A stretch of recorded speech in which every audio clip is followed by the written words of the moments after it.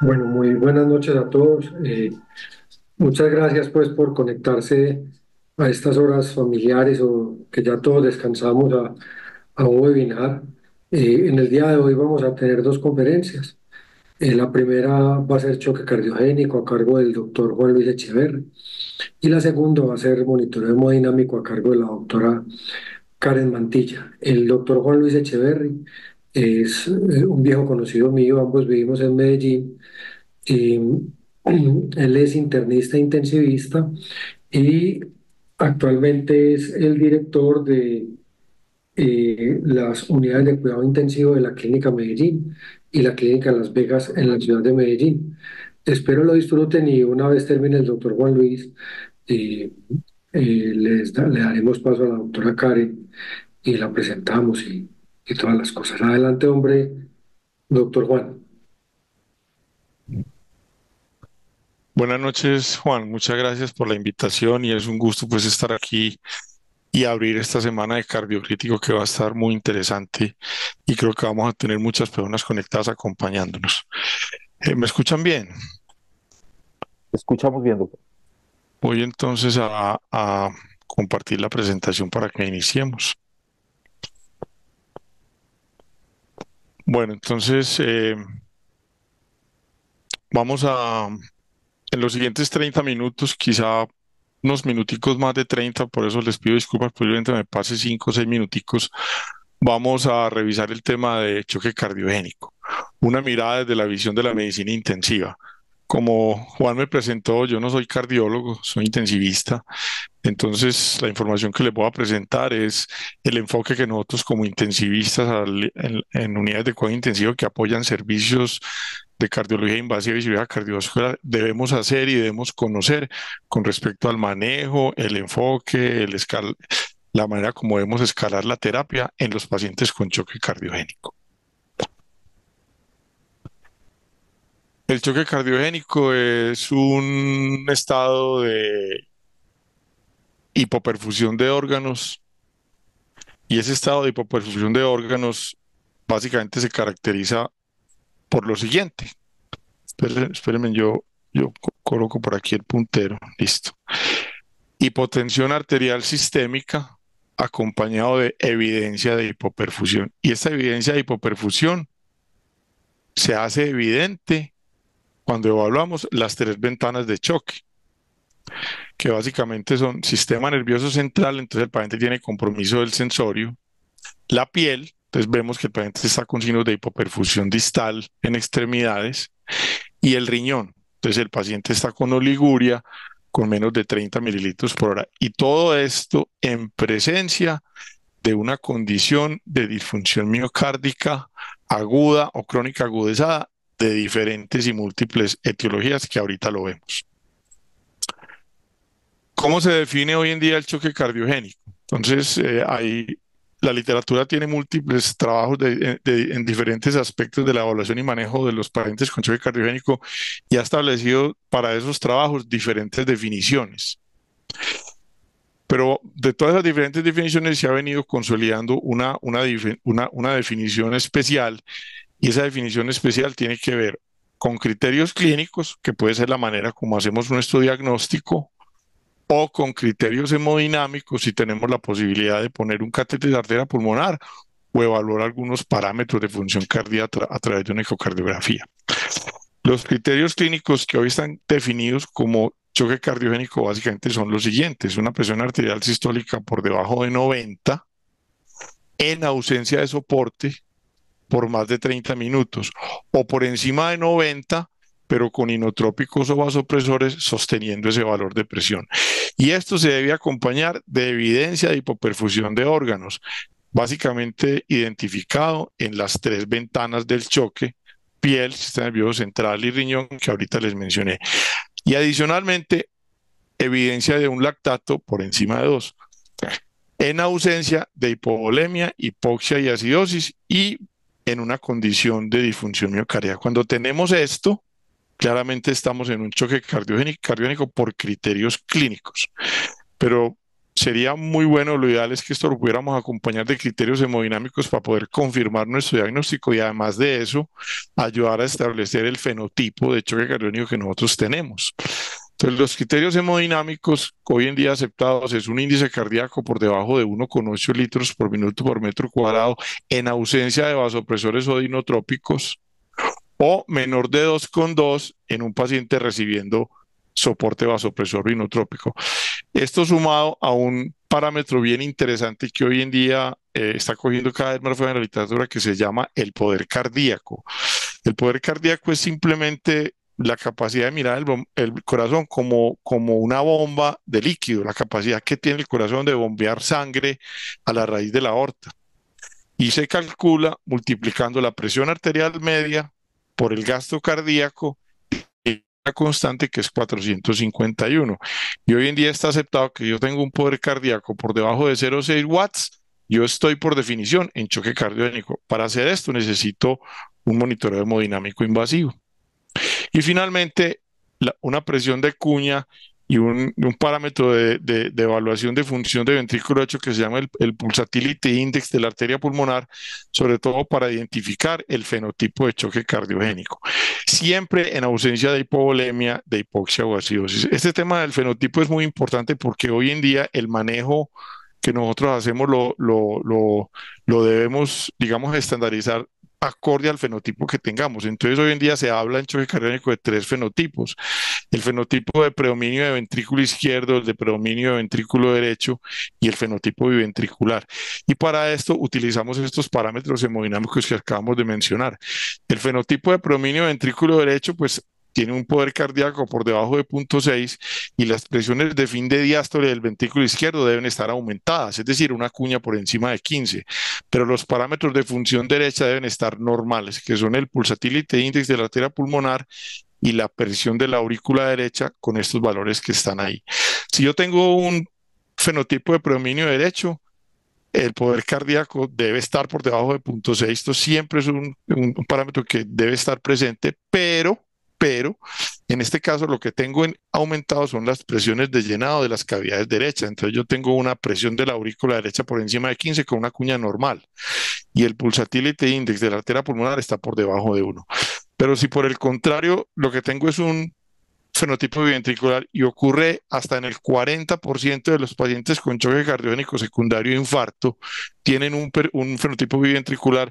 Yo tengo un poder cardíaco por debajo de 0,6 que se repiten los tres y todos los parámetros de función derecha e izquierda están alterados. Las presiones de llenado están elevadas y el pulsatility índice de la arteria pulmonar está por debajo de 1.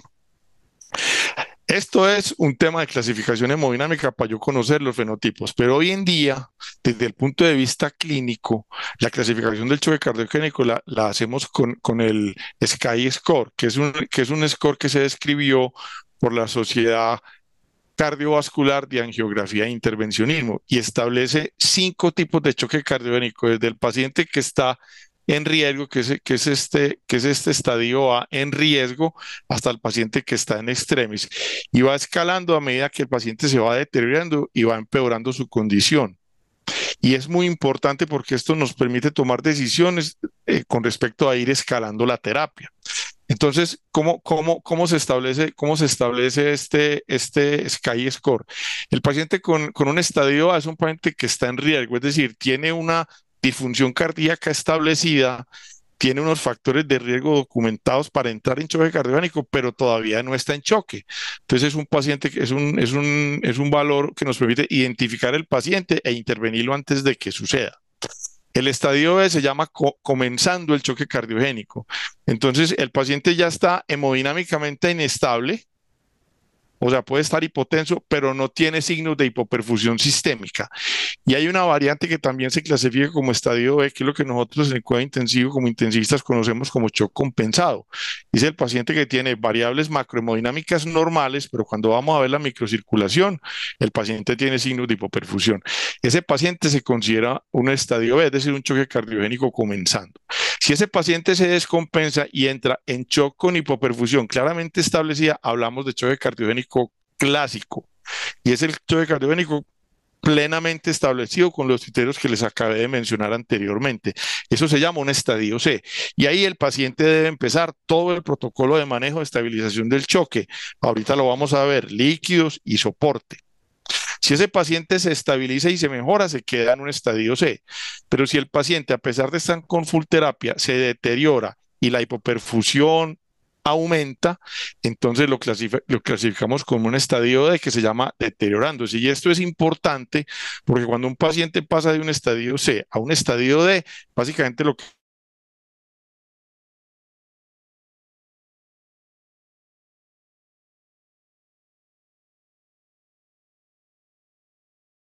finalmente no responde a las medidas instauradas. Hablamos de un estadio de que se llama extremis, que es el paciente que está en un estado de shock refractario. Y posiblemente aquí hay muy poco por hacer y básicamente no va más allá de posiblemente acompañamiento familiar y una, y una eh, modificación de la, del enfoque terapéutico hacia más confort y acompañamiento. Entonces, hoy en día el choque cardiónico lo clasificamos así, y esto es una clasificación clínica al lado de la cama del paciente y con los parámetros de laboratorio de perfusión sistémica. Ahora, la, causa más importante o más frecuente que vemos en, nuestras unidades, sobre todo cuando apoyamos servicios de cardiología invasiva y cirugía cardíaca, es el, es el choque cardíaco asociado a infarto, específicamente infarto con elevación del ST. ¿Esto qué incidencia tiene? Entre un 7 y un 10% de los pacientes con infarto con ST hacen choque cardiogénico y la mortalidad oscila alrededor del 80%. Este 80% ha ido variando en la literatura alrededor de los años. Hay una serie de publicaciones muy bonitas que establecieron la evolución, la incidencia y la mortalidad del choque cardiogénico eh, entre a mediados de la década de los 70, cuando no había muchas opciones de intervencionismo, hasta el 2014, donde la, la, medicina de intervencionismo y otras cosas se ha desarrollado.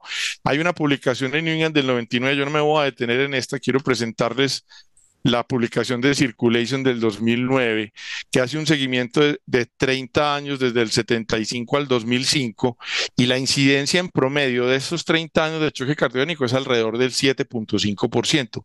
Pero fíjense cómo a lo largo de que fueron pasando los años y entramos en la década de los 90, especialmente después del 97-98, cuando se empezó a implementar las estrategias de revascularización miocárdica, la incidencia del choque cardiogénico bajó de manera importante y en el 2003 reportan solamente un 4.1% de todos los infartos con elevación del ST. Y estas dos, estas dos medias tienen esta diferencia estadísticamente significativa. Y, y, con respecto a la mortalidad, fíjense qué tan diferente es la mortalidad en un paciente con infarto sin choque cardiogénico que no sobrepasa el 15% y la mortalidad en un paciente con infarto y choque cardiogénico. El, el, promedio de mortalidad durante estos 30 años fue alrededor del 65%, un poquito más baja que el 80% que les presenté ahorita, pero fíjense en cómo cuando las estrategias de revascularización miocárdica se empezaron a implementar en, en, en, los hospitales y los pacientes empezaron a tener acceso a, a estas, a estas terapias, fíjense en cómo la mortalidad empezó a bajar, 76.1% en la década de los 70 hasta un 45% de mortalidad por allá en el 2002-2003. Sin embargo, fíjense cómo hay una diferencia muy importante entre, entre tener y no tener choque con respecto a que uno se muera por un infarto. Cuando uno tiene choque, tiene 17.8 veces más probabilidad de morirse que, que, si no tiene choque. Y este seguimiento lo continuó esta publicación en el, en el, en el CAT Registry que lo, siguió hasta el 2014. Y fíjense cómo ellos en, a lo largo de, la, de, los años después del 2000 logran documentar una mortalidad que baja hasta un 30%. Yo no creo que nosotros en nuestro medio tengamos un 30% de mortalidad. Yo creo que oscilamos más o menos entre un 50 y un 60%, aunque hoy en día contamos con un, múltiples estrategias que podemos ofrecer a los pacientes dentro de nuestro hospital e inclusive eh, extramural con el apoyo de otras instituciones. Ahora, ¿cuál es, cuál es la, ¿cuáles son las causas fundamentales? Aparte del infarto, están muy importantes las complicaciones mecánicas del infarto, que es lo primero que tenemos que buscar cuando un paciente con infarto entra en choque. Insuficiencia mitral aguda por ruptura de las cuerdas tendinosas, ruptura del septum interventricular, ruptura de la pared libre del ventrículo izquierdo, taponamiento pericárdico o infarto del ventrículo derecho, que tiene como unas connotaciones de manejo especiales. Básicamente, pues un fenotipo derecho. Pero también hay hay enfermedades cardíacas como las cardiomiopatías, y aquí incluimos la miocarditis aguda, la cardiopatía periparto, que no, que no es tan rara como de pronto podamos pensar. Vemos muchos pacientes en nuestras unidades con fallas cardíacas terminales que llegan en choque cardiogénico. Hoy en día eso se llama falla cardíaca agudamente descompensada en choque cardiogénico. Y yo diría que es una de las más importantes que vemos hoy en día en pacientes de edad avanzada. La cardiomopatía hipertrófica con obstrucción al tracto de salida del ventrículo izquierdo, que tiene unas connotaciones de manejo puntuales y específicas que hay que conocerlas. Y el tacopsubo, que a veces lo vemos en algunos pacientes posquirúrgicos, que es la cardiomopatía de estrés. Pero adicionalmente, también lo podemos ver después de, una cirugía con bypass cardiopulmonar. En los pacientes sépticos que hacen disfunción miocárdica por sepsis puede suceder el trauma cardíaco en centros de trasplante como cuando sucede un rechazo o la embolia pulmonar masiva que también tiene unas connotaciones de manejo, de manejo especiales. De todas estas, yo quería compartirles esta, esta publicación del JAC del 2000 porque nos, nos, nos hace un llamado de atención no solamente a confirmar más o menos la mortalidad de los pacientes, sino cuál de estas complicaciones mecánicas en infarto es la que más mortalidad tiene. Esta es una publicación que juntó, eh, digamos, pacientes de dos, de dos registros. El shock trial, que, que, ahorita lo vamos a ver, que es el estudio más importante en revascularización miocárdica en, en, en, cardiología invasiva, con 302 pacientes, pero eh, en estos pacientes se randomizaron muchos que, y, aquellos que no cumplían los criterios de, de inclusión los empezaron a meter en un registro que se Registry. Entonces, juntando estas dos bases de datos, lograron reunir 1.422 pacientes. Y fíjense en cómo la mortalidad total es alrededor del 60%, que yo creo que este es el número con el cual nos debemos quedar como mortalidad en choque cardiogénico. Pero cuando evaluaron las complicaciones mecánicas como la ruptura del septum ventricular, la insuficiencia mitral aguda, la falla del ventrículo derecho y el taponamiento, fíjense en cómo las incidencias no son muy altas, no van más allá del 6-7%, pero a la hora de evaluar la mortalidad, los pacientes con ruptura del septum ventricular tuvieron la mortalidad más alta con respecto a los otros grupos. Entonces, cuando tengamos un paciente con infarto choque cardíaco y tenemos esta complicación, esto es una emergencia médica y ya sabemos de base que estos pacientes tienen una mortalidad alta. Fíjense en cómo la P, comparando esta mortalidad con las demás, fue estadísticamente significativa hacia que esta complicación es una de las más mortales en este tipo de, patologías. Ahora, ¿cuál es la fisiopatología del, choque cardiogénico? Entonces, esto básicamente empieza con una isquemia miocárdica, como sucede con un infarto. Esa isquemia miocárdica te genera una, te genera una necrosis regional y si esa necrosis, y si esa necrosis regional si esa necrosis regional te reduce la masa contráctil a más de un 40%, por definición estás en choque cardiogénico. Entonces, básicamente, ¿qué es lo que sucede? Hay un insulto cardíaco primario, ese insulto cardíaco primario te baja el gasto cardíaco y eso te produce hipotensión y hipoperfusión orgánica. Entonces se activan una serie de mecanismos contrarreguladores para compensar, como es estimulación simpática, renina, angiotensina, activación del sistema, feedback tuberoglomerular, glomerular y esto básicamente produce vasoconstricción sistémica para mantener la presión arterial. Eso es lo que sucede en los pacientes con choque compensado, que uno los ve con 120, 70, pero tienen 4 de lactato. Están sosteniendo la presión a punta, a punta de poscarga.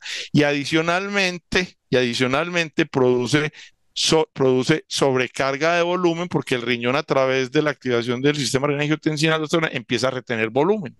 Y esto mete a los pacientes en más isquemia, por aumento de poscarga del ventrículo, del ventrículo izquierdo y por edema agudo de pulmón e hipoxemia. La isquemia produce inflamación, aparecen otra serie de complicaciones como respuesta natural sistémica, que enseguida lo miramos. Esto termina generando disfunción multiorgánica y finalmente muerte. Entonces, aquí vemos el espiral clásico de fisiopatología del choque cardiogénico, donde una disfunción miocárdica con disfunción sistólica y diastólica produce un círculo vicioso de hipotensión, hipoperfusión coronaria e isquemia, congestión pulmonar, hipoxemia, isquemia, que si esto no se corrige, se va deteriorando hasta que el paciente finalmente entra en un estado de choque refractario y muere. Pero hoy hay un cambio en el paradigma de la fisiopatología. Adicionalmente a esto, los pacientes con choque cardiogénico se inflaman y se inflaman y producen citoquinas y, y, y, esas citoquinas los llevan a un choque vasodilatado.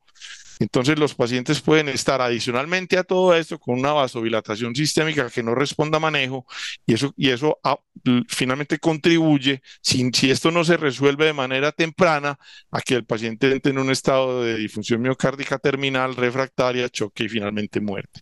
Este tema de la, de la inflamación sistémica y del CIS es muy interesante. Hay, hay varias publicaciones que demuestran cómo un porcentaje de pacientes con choque cardíaco, sobre todo los que sobreviven a las primeras 24 y 48 horas al evento, se empiezan a inflamar. Y nos damos cuenta que se empiezan a inflamar porque empiezan a hacer fiebre, suben los leucocitos, sube la PCR, elevan citoquinas, aumentan los niveles de dióxido nítrico y se vasodilatan. Y esto está demostrado de una manera muy bonita en esta publicación de, archivos de medicina interna en el 2005, donde cogió los pacientes del shock trial, que ahorita vamos a, hablar un poquito del shock trial, los pacientes del shock trial, que fueron 302 pacientes, y buscó qué pacientes de esos se inflamaron y encontró que 54 pacientes hicieron CIS, es decir, el 18% de los pacientes del shock trial o dicho de otra manera, aunque no, no, no, se, no se puede ser tan pragmático, el 18 18% de los pacientes con choque cardiogénico se inflaman. Y de esos pacientes que se inflamaron, 40 pacientes tenían cultivos positivos, es decir, el 74%. Y de esos 40 pacientes con cultivos positivos, 27 tenían hemocultivos. Y esto es algo que no, que el paciente no lo hace evidente muy fácil, lo tenemos que buscar de manera activa, porque si esto no se resuelve, esto contribuye a la mortalidad de los pacientes. Entonces, podríamos dejar como enseñanza que si tenemos un paciente con choque cardiogénico que tiene CIRS, y hace cultivos positivos. Hasta el 70% de esos pacientes cursa con hemocultivos positivos. Y miren, cuando, cuando los evaluaron desde el punto de vista hemodinámico, fíjense en cómo estaban completamente vasodilatados. Miren, miren las resistencias sistémicas en el paciente que no tenía, que no tenía CIRS y fíjense cómo los pacientes de CIRS con cultivos negativos y positivos tenían resistencias muchísimo más bajas, sobre todo el de cultivos positivos con un valor de P significativo. Y en la sobrevida a los 30 días, esto también se vio impactado. Cuando evaluaron esto, pues los pacientes que más fallecieron o que no sobrevida tuvieron, perdón, fueron los que no hicieron CIS, 47%, posiblemente porque se murieron muy tempranamente y obviamente eran más pacientes. Pero cuando vemos la sobrevida en los pacientes con CIRS, vemos como cuando hay cultivos positivos se mueren más y se mueren más estadísticamente significativa. Miren la P, y cuando uno le hace un hazard ratio a tener cultivos positivos versus no tener CIRS, la probabilidad de fallecer es 2.2 veces más alta cuando yo tengo CIRS y cultivos positivos que cuando no tengo CIRS. Entonces, esto es algo muy importante y es un cambio de paradigma en la fisiopatología del choque cardíaco que tenemos que tenerlo siempre en mente. Ahora, ¿Cómo se, hace, ¿Cómo se hace la aproximación al paciente? Lo primero es evaluar la causa, para eso hacemos un examen clínico, un electrocardiograma, una ecocardiografía, yo quiero detenerme en este punto. Este punto es muy importante porque cuando tenemos un paciente infartado con choque cardíaco, lo primero que tenemos que descartar es que no tenga una complicación mecánica de infarto, porque ahí hay unas connotaciones de manejo que se salen del manejo convencional. Eh, evaluamos la severidad, para eso utilizamos el lactato, está controvertido, algunos grupos no lo utilizan, pero la literatura lo recomienda, la, el gasto urinario, la clasificación de SCAI, y empezamos un manejo inicial, una estabilización inicial, que es básicamente oxígeno, un bajo umbral para intubar los pacientes, porque hacen, un, hacen falla respiratoria tipo 4, entonces no, no debemos demorar mucho en intubar los pacientes, líquidos, vasopresores, y ya, y ya empezamos a plantear las estrategias de revascularización. Entonces, básicamente, cuando tenemos un paciente con choque cardiónico en la UCI, nosotros nos podemos ver enfrentados a estos tres escenarios que están aquí un paciente que básicamente tiene hipoperfusión tisular, es decir, está en una clasificación de Stevenson L, que es la que utilizamos en falla cardíaca, es decir, frío y seco. Y en estos pacientes usualmente empezamos con líquidos inotrópicos vasopresores o quizá le podemos poner un balón. El otro grupo de pacientes son aquellos que tienen la perfusión tisular adecuada, pero están en, edema agudo de pulmón con congestión pulmonar, es decir, están en un Stevenson B, húmedos y calientes. Ahí básicamente lo que hacemos es modular la precarga, diuréticos para bajar presiones de llenado. Yo no me voy a detener fundamentalmente de este grupo, no voy a hablar. Y tenemos un grupo en la mitad que son los pacientes que tenemos infartados, pero tienen perfusión tisular normal y no están congestivos. Y en este grupo de pacientes, de una empezamos a mirar cómo vamos a implementar las estrategias de reperfusión. Listo. Entonces, empecemos con el primer grupo cuando yo tengo el paciente en choque, completamente hipoperfundido. Entonces, ahí no voy a hablar de los líquidos, lo primero que hacemos es poner líquidos, los líquidos tienen unos límites, recuerden que los líquidos matan, pero no me voy a detener ahí.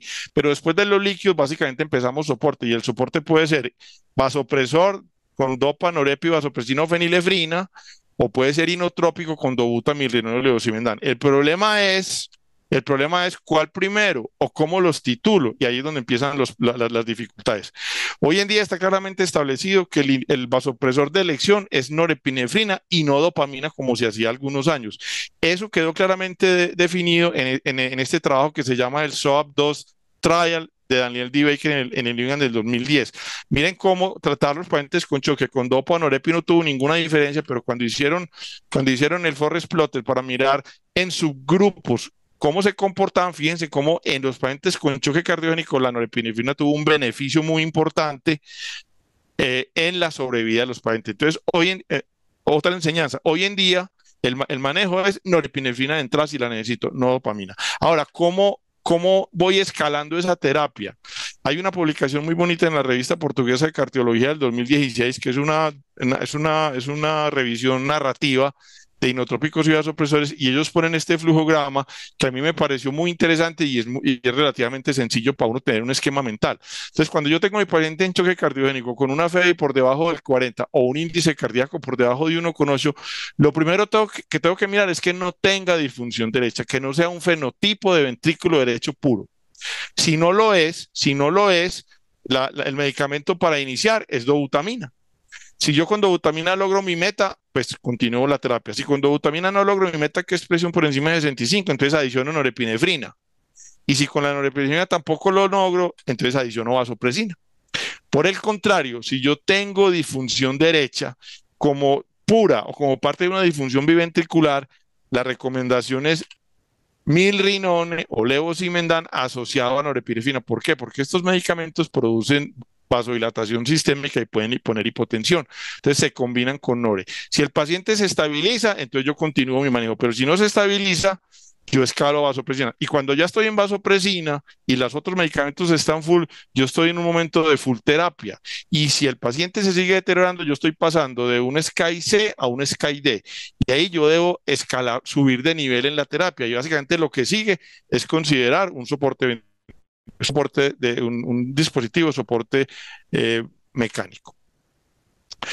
Bueno, eh, la parte más importante de la terapia es la terapia de reperfusión. Esta terapia, porque esto es lo que realmente ha demostrado que salva la vida de los pacientes. la terapia de reperfusión la podemos hacer con trombolisis, hay unas recomendaciones, las vemos al final, o idealmente con angioplastia y en algunos pacientes con cirugía. La trombolisis hoy está claramente demostrado que sola no funciona se debe asociar siempre a un vasopresor para que el paciente tenga presión de perfusión en la aorta y el medicamento llegue a las, coronarias para realizar el trombo o combinarlo con un balón y hay algunas publicaciones que lo, que lo sugieren. Y las recomendaciones para angioplastia coronaria, que es el manejo estándar, hay algunos trabajos que definitivamente soportan esa terapia como el gol estándar de manejo y hoy en día hace parte de, de guías internacionales de manejo de síndrome coronario agudo eh, en, los pacientes. Entonces, ¿qué, pasa con la trombolisis? Y esta, esta, esta gráfica es muy bonita. La trombolisis es una opción cuando no tenemos acceso a una PCI con unos tiempos determinados. Pero entonces, en algunas publicaciones compararon poner el trombolítico solo contra ponerlo combinado con balón y ver la mortalidad. Entonces, el primer trabajo que, que, que evaluó eso fue el TACTIS. Fueron 57 pacientes y fíjense cómo el trombolítico solo, la mortalidad, la mortalidad fue 43 y cuando lo pusieron con balón fue 34 y la P les dio. Pero esto eran un grupo de pacientes con todas las clases de infarto. Cuando lo evaluaron específicamente en KILIP 3 y KILIP 4, que es choque cardiogénico, fíjense cómo pasamos de 80 a 39 cuando le ponemos el balón y la P ya se hace estadísticamente significativa. Esto se confirmó después en el COVAC, 68 versus 33, y en el Gusto 1, 67 versus 57.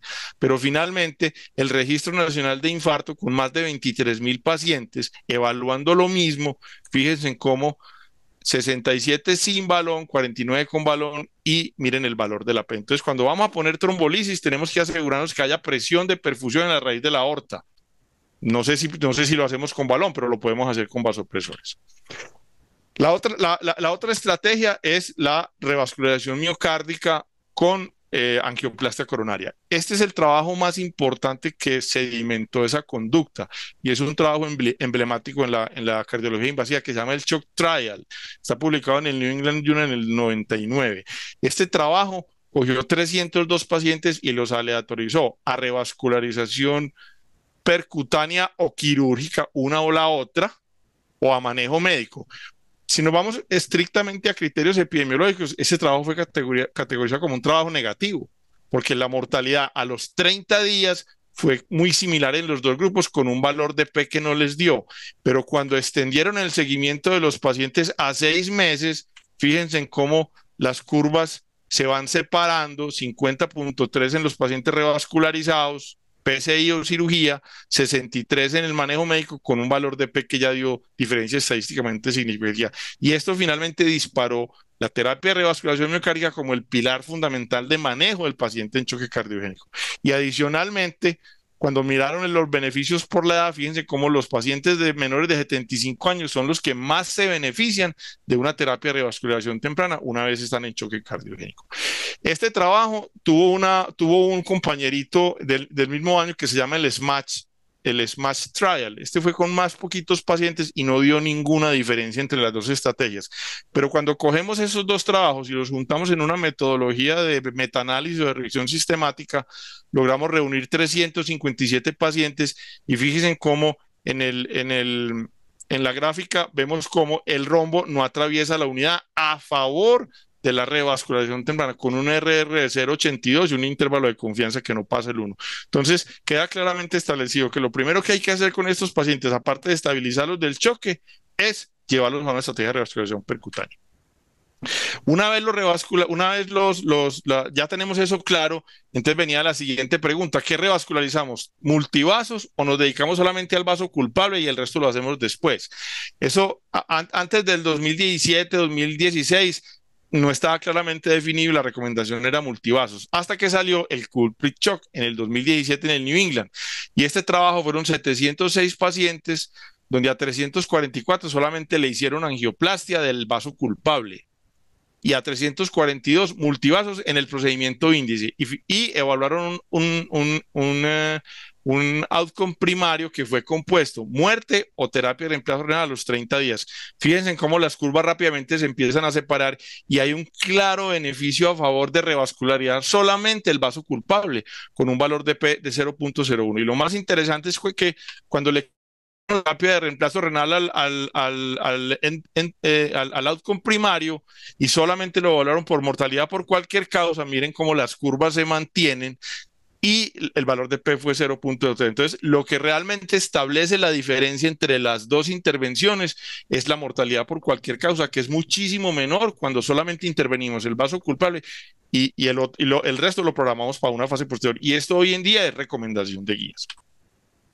Ahora, si nuestro paciente definitivamente no se mejora con la terapia médica y con la revascularización, entonces empezamos a pensar en soporte circulatorio mecánico. Pero este tema es relativamente complejo, pues porque necesita un equipo multidisciplinario con un entrenamiento adecuado, unas competencias especiales en el manejo de accesos vasculares, unos criterios de diagnóstico de choque refractario muy claros.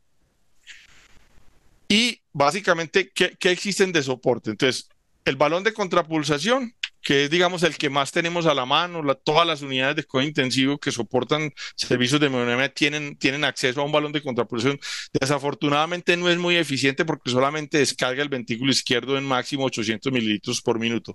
Pero aparte del balón, están los dispositivos transvalvulares como el Impela, que se coloca por vía arterial femoral y, y de manera retrógrada a través de la aorta y la, válvula aórtica llega al ventrículo izquierdo y lo que hace es empujar sangre hacia afuera, hacia, hacia la aorta y descargar las presiones de llenado del ventrículo izquierdo.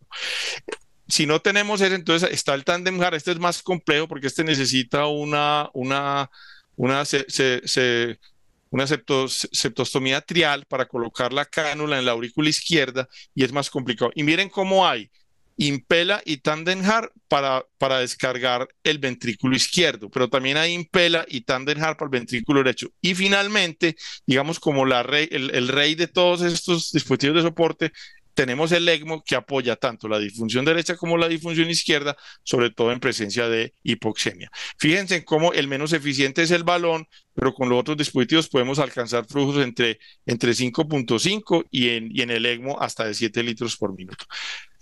Ahora, como el balón es lo que más tenemos a, mano nosotros como intensivistas, realmente la pregunta es, ¿el balón funciona?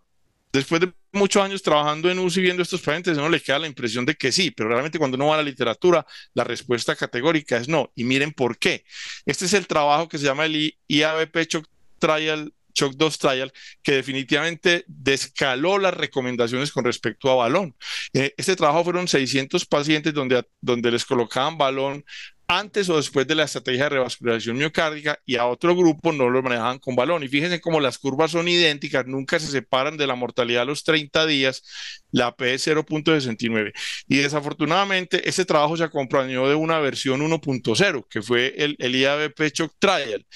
Pero aquí no evaluaron mortalidad, evaluaron la capacidad que tenía el balón para resolver la disfunción multiorgánica eh, guiándose por el Apache al día 4.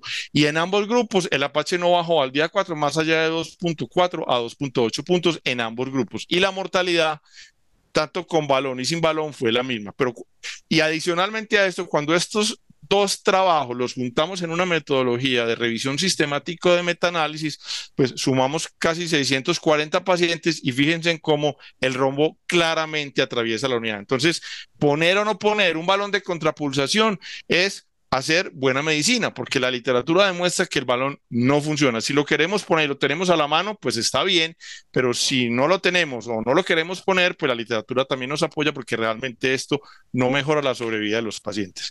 Entonces, eh, ya, ya, ya escalando el tema del balón, ¿Cómo, ¿Cómo, indicamos un soporte circulatorio mecánico? Entonces, lo primero es establecer unos criterios de mejoría del paciente, que el paciente realmente se deja desmontar los vasopresores y establece unos criterios, unos criterios de choque refractario. Hoy en día está claramente establecido que cuando tenemos full terapia, tener un, un poder cardíaco por debajo de 0,6, un índice cardíaco por debajo de 2,2 y el lactato en ascenso define un estado de choque refractario. Entonces, si nuestro paciente no está ahí, todos estos parámetros van en mejoría, en teoría se debe dejar desmontar los soportes y ese paciente se está recuperando. Pero si no estamos acá, sino que tenemos estos criterios de refractariedad, entonces tenemos que definir antes de pensar en un soporte circulatorio, qué tipo de fenotipo tengo basado en presiones de llenado, en poder cardíaca y en el índice de pulsatilidad. Y adicionalmente, si el paciente tiene hipoxemia. Si el paciente tiene hipoxemia, definitivamente lo que tenemos que hacer es, escalar el paciente a un ECMO venoarterial e independiente del fenotipo. Si no hay hipoxemia, yo ya coloco un dispositivo de soporte ventricular. La mayoría de la literatura va a favor de los dispositivos transvalvulares, que es básicamente el Impela, que es este, el dispositivo transvalvular percutáneo Acuerden que les mostré que había para ventrículo derecho y para ventrículo izquierdo. De... Ahora, realmente, ya voy, a, terminar, realmente esto le salva la vida de los pacientes y la respuesta por ahora es no. Esto, cuando uno revisa el tema, esto básicamente es lo que uno encuentra en la literatura. Actualmente no existe evidencia de, ensayos controlados randomizados que soporten el uso del soporte circulatorio mecánico en choque cardiogénico. Sin embargo, esa evidencia se está construyendo. Desde hace algunos años se vienen realizando en, el mundo varios trabajos, que son estos que están aquí. De estos trabajos, básicamente comparan ECMO contra, contra manejo médico o, manejo convencional, excepto este Danger, Danger, Danger Shock que compara Impela contra manejo médico. De estos trabajos ya hay dos que se publicaron el año pasado y tienen resultados. Se los voy a mostrar rápidamente para que miren qué, qué, qué evidencia tenemos al respecto. El primero que fue publicado en febrero del año pasado en Circulation se llama el ECMO Cardiogenic Shock Trial.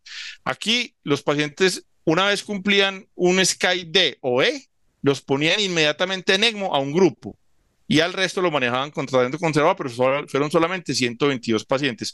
Pero el outcome primario fue combinado. Entonces, dentro de estas cosas que están acá, incluían ECMO tardío, es decir, y eso se lo hacían a los pacientes con estrategia conservadora. O sea, si el paciente se empezaba a deteriorar, algunos pacientes de ahí los pasaban a un ECMO tardío, entonces ya empezaban a cumplir el outcome primario.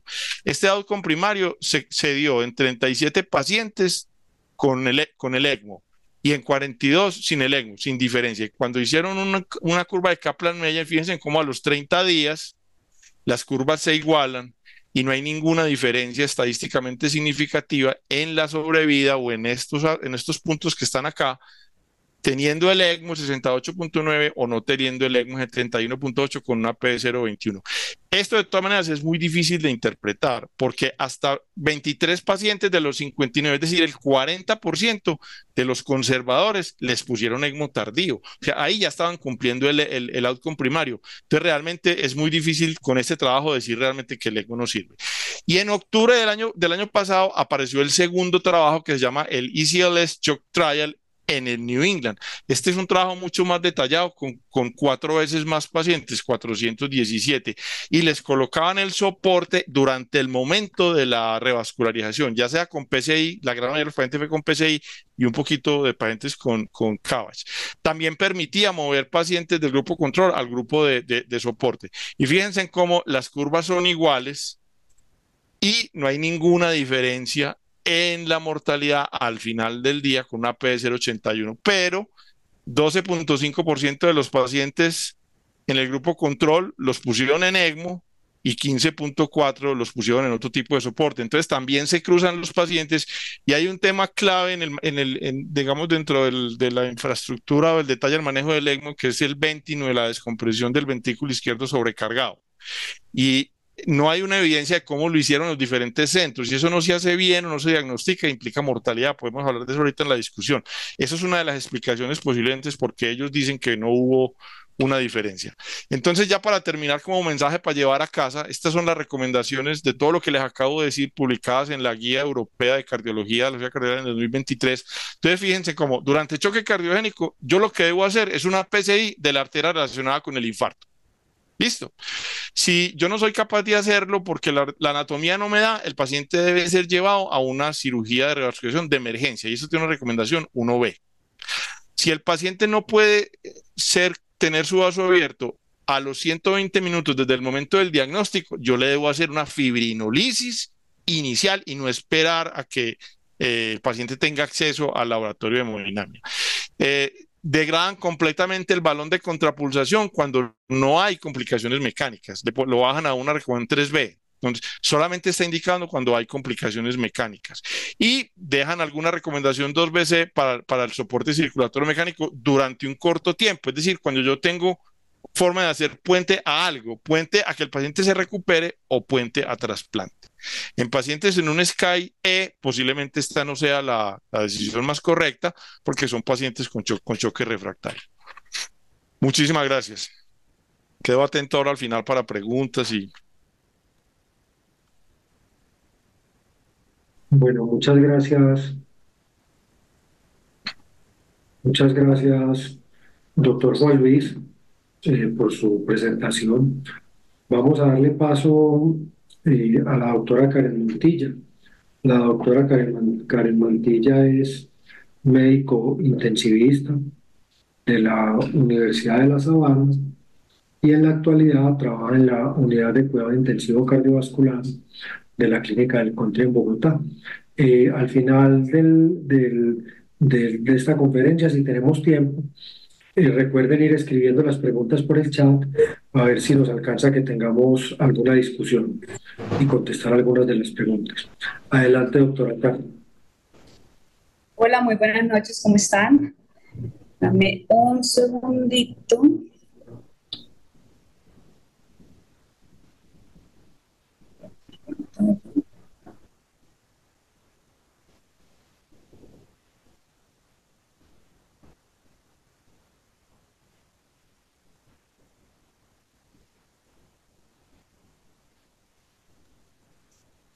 Listo. Perfecto.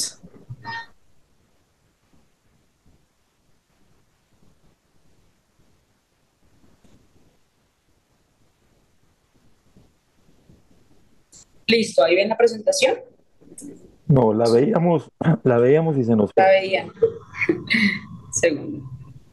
Ahí ¿Lista? la tenemos. ¿Ahora sí? Sí, ahí la tenemos. Gracias. Bueno, bueno, ¿cómo están? Mucho gusto. Mi nombre es Karen Mantilla, yo soy médico intensivista de la Universidad de La Sabana y pues hoy les voy a presentar el monitoreo hemodinámico principalmente en cardiología crítica. Entonces, bueno, el doctor Juan ya se me adelantó varias cositas o mejor dicho, yo me le adelanté también cositas. Entonces vamos a hablar de definición y fisiopatología.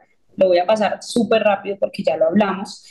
Eh, la clasificación, que también lo hablamos, pero lo que vamos a enfatizar el día de hoy es monitoría hemodinámica en primera línea y monitoría hemodinámica avanzada y los mensajes para llevar a casa.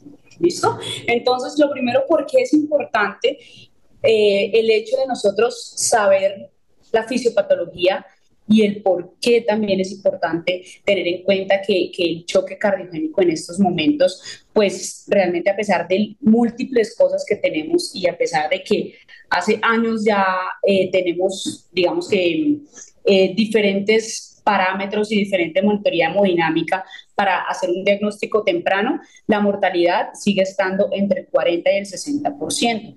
Tenemos que tener en cuenta que esto, eh, digamos que el choque cardiogénico es un estado de bajo gasto cardíaco, eso es principal, y también pues que tiene que ver una disfunción miocárdica. Esto, pues, eh, disminución de la presión arterial, disminución de la perfusión orgánica y esto digamos que es un, ciclo, un círculo vicioso de isquemia, inflamación, sobrecarga hídrica y vasoconstricción, lo que va a llevar a una disfunción multiorgánica y muerte. Eso ya lo explicó muy bien el doctor Juan.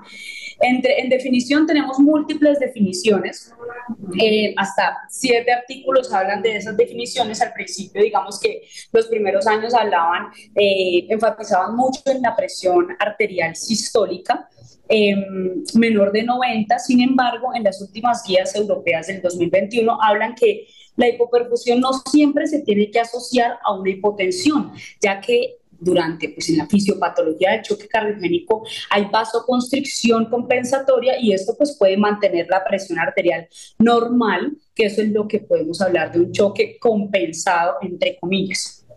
Em, digamos que es posible que no se requiera la presencia de una hipotensión para definir shock, entonces puede estar preservada.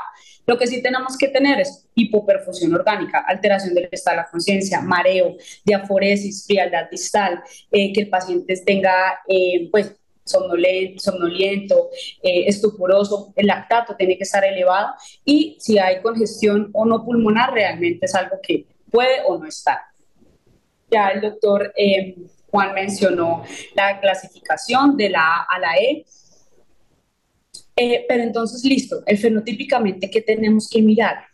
la parte biventricular, si está afectada los dos ventrículos, el ventrículo izquierdo, el ventrículo derecho, pero hay otro artículo muy lindo que hablan de tres fenotipos diferentes, que es la parte no congestiva, cardiorrenal y cardiometabólico. ¿Por qué digo esto? Más adelante es muy importante saberlo porque hace parte de la monitoría saber la función renal, la función hepática, el lactato, bueno, esto digamos que es de primera línea.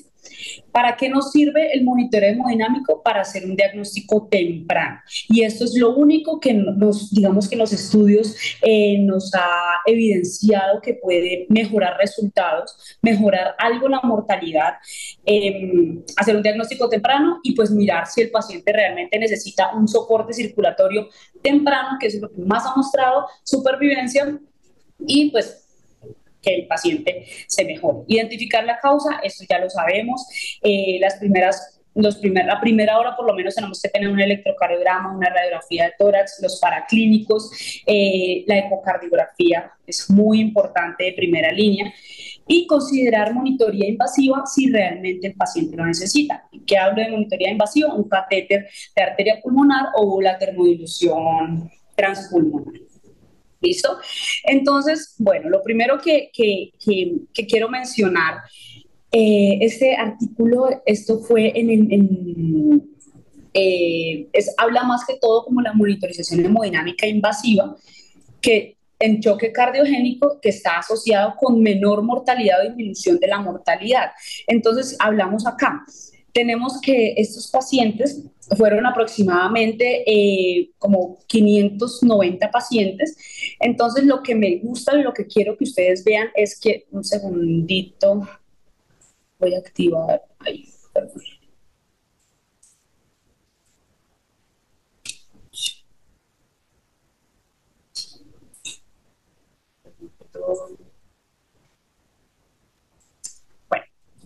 digamos así. Lo que quiero que vean es que estos son los pacientes que tenemos eh, con monitoría hemodinámica y estos son los pacientes que se hacía anteriormente sin monitoría hemodinámica. La mortalidad en estos pacientes sin monitoría hemodinámica era del 30.6% en comparación con 24.1%. Entonces, la mortalidad en, ese, en este caso va mejor en los pacientes con monitoría hemodinámica. Y además, estos pacientes, cuando los monitorizábamos, podíamos mirar qué fenotipo de choque tenía y si el paciente hacia dónde iba a avanzar, si iba a empeorar o iba a estar mejor, dependiendo de cómo iban los paraclínicos y cómo iba la monitoría. Entonces tenemos que estos pacientes tenían más incidencia o, lo, la, em, digamos que hacían más, los llevamos más a una eh, asistencia ventricular izquierda y a trasplante cardíaco. Listo, digamos que eso es bueno y no bueno, digamos que es bueno porque el paciente cuando lo necesita, listo, temprano, pero no bueno porque nos podemos, eh, podemos digamos que sobreactuarnos y llevar a un paciente que no lo requiere a una asistencia ventricular o a un trasplante cardíaco. Por eso es que no es malo el dispositivo o la manera de monitorizar, sino es la interpretación que nosotros como intensivistas o como especialistas estamos haciendo.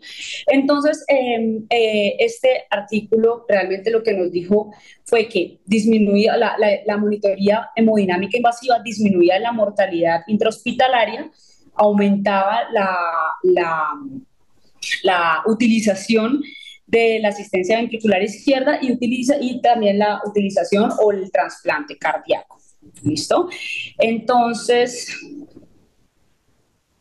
entonces, en cuanto a monitoría de primera línea, vamos a tener que es la ecocardiografía, digamos que eso es lo principal, lo que primero uno tiene que, tener en cuenta. Entonces, eh, el, gasto cardíaco, importante, la, las presiones de llenado, la función izquierda y derecha, y pues obviamente las complicaciones que pueda haber después de un infarto, unas complicaciones mecánicas. Em, la arteria, la caterización de la arteria em, radial o femoral y pues la disfunción orgánica. Entonces, lo primero, digamos que la ecocardiografía nos va a ayudar a nosotros en la etiología. Entonces, listo, llega el paciente a la sala, vemos que está en choque, hipoperfundido, vamos a hacer una ecocardiografía. ¿Qué vamos a ver? Si la etiología, si el paciente tiene un derrame pericárdico, si le está ocasionando un taponamiento cardíaco, si tiene em, dilatación del ventrículo derecho, si tiene un TAPSE disminuido, una CAF disminuida, también podemos diagnosticar un TEP. Em, la falla cardíaca derecha o izquierda, cuál predomina, eso podemos mirarlo, si es diastólico, si es sistólico, eh, valvulopatías, endocarditis. Realmente nosotros con la ecocardiografía, sin tener la mayor experiencia del mundo podemos diagnosticar por lo menos etiología y con eso iniciar un manejo em, que pueda llevar a una mayor supervivencia en el paciente. El gasto cardíaco es, digamos que es la maniobra o digamos que es el, el, lo que más se requiere o lo que más se usa eh, de manera no invasiva para para sacar el gasto cardíaco, que es el BTI, que ya pues mucho muchos de acá sabemos cómo hacer. Signos congestivos, ¿para qué? Para ver si el paciente necesita realmente la disfunción orgánica es por congestión o por hipovolemia. ¿Qué vamos a ver? Diámetro de la cava inferior, variación con las respiraciones, eh, una, eh, un Vexus le podemos hacer para, para ver si congestión, para, eh, podemos ver la E, e prima mitral o la EA para mirar si hay alguna disfunción diastólica y determinar complicaciones mecánicas. En cuanto al catéter de la línea arterial, digamos que aunque, aunque la aplicación invasiva de la presión arterial en el brazo, pues el manguito, em, se puede evaluar de forma fiable la presión arterial media, digamos que la, mayor parte del tiempo se puede evaluar con eso.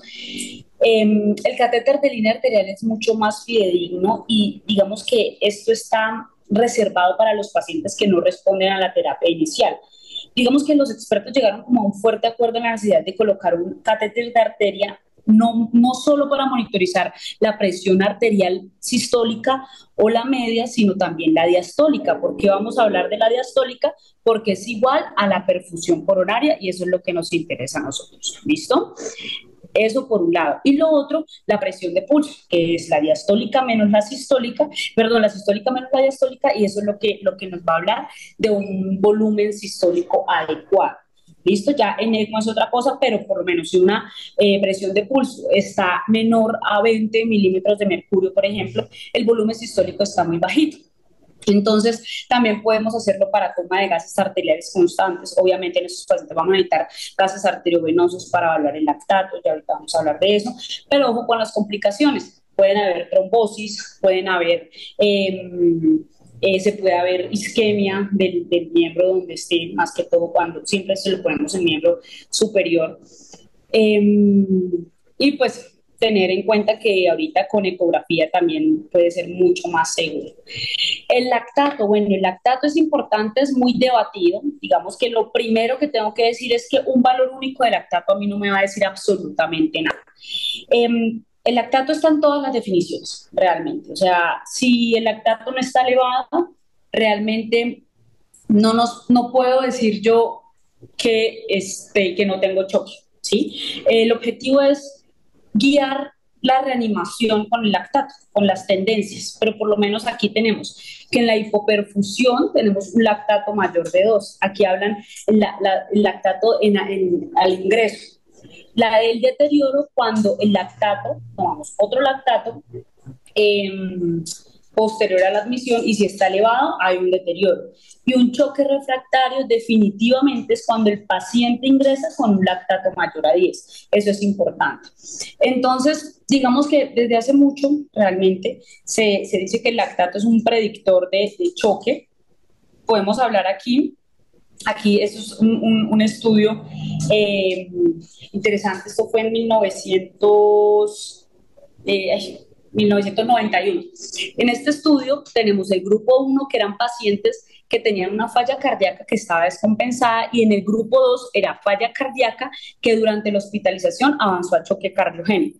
Entonces podemos ver acá en este, en este punto, eh, mientras más avanzaba el tiempo en la hospitalización y avanzó al choque cardiogénico, el lactato iba mucho más alto. Entonces pues tenemos que ver que eh, puede predecir eh, el hecho de que el paciente entre en choque y ya sea choque séptico o choque cardiogénico, que es lo, lo que nos interesa acá.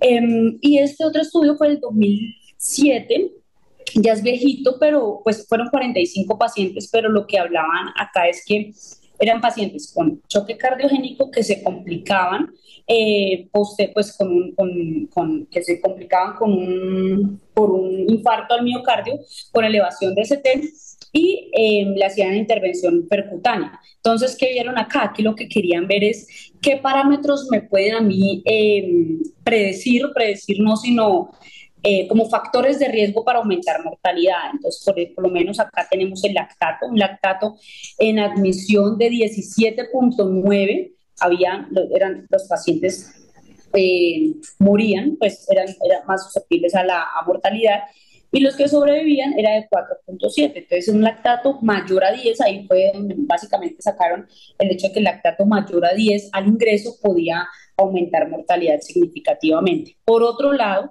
tenemos que en una, en una ya regresión logística, tenemos que el lactato mayor a 6.5 tenía un odds ratio de 54 y no solo eso, sino ya cuando se hace un ajuste por sexo, edad y la, hipertensión y diabetes tiene un odds ratio de, 2, de 2, 295, cosa que es absurdo. Entonces tenemos que tener en cuenta que la mortalidad en un punto, o sea, después de un punto, después de 6.5 a 10 o más de 10, ya es una mortalidad bastante alta, pero tenemos que ver nosotros en la unidad que se recomienda es las tendencias. ¿Sí? En el último consenso, que ya fue hace 10 años, que fue el monitoreo hemodinámico, recomienda medidas de lactato cada dos horas por las primeras 8 horas y posterior cada, cada 8 a 12 horas, dependiendo del paciente, y eso con el objetivo de reanimar la terapia, de, guiar la terapia de reanimación. En cuanto a monitoría de la falla multiorgánica, como se los dije, función renal, función hepática, estado neurológico.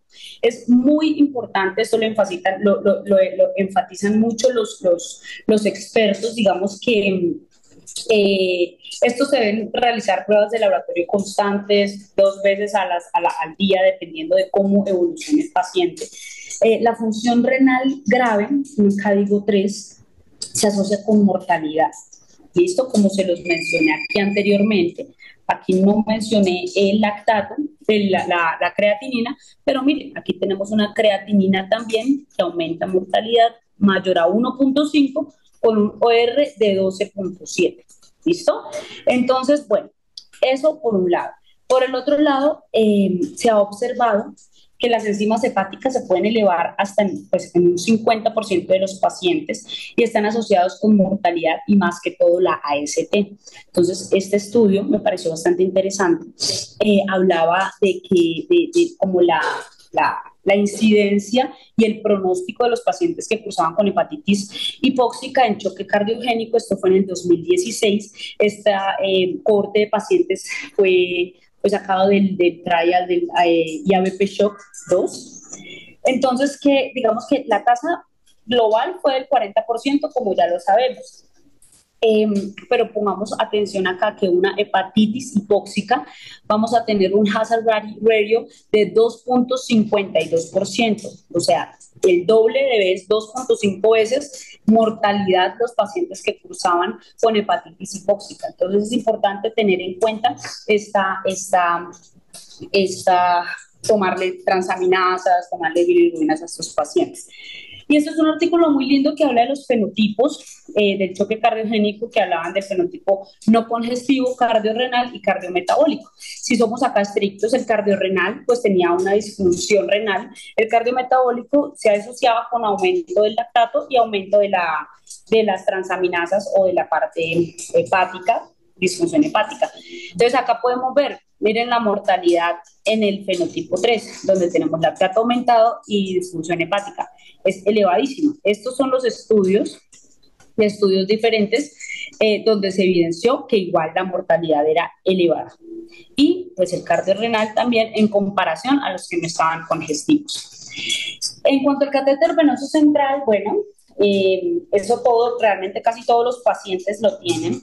Eh, no ya como sabemos, muchas veces hemos hablado de que los, no es bueno predictor de, de, respuesta a volumen, pero sí me va a detectar congestión y sí me va a detectar si tiene una disfunción ventricular izquierda la saturación venosa y el delta de CO2. Entonces, en cuanto a la presión venosa central, lo que ya les dije, no evalúa respuesta a volumen, solo es, y una sola medición tampoco a mí me va a decir absolutamente nada.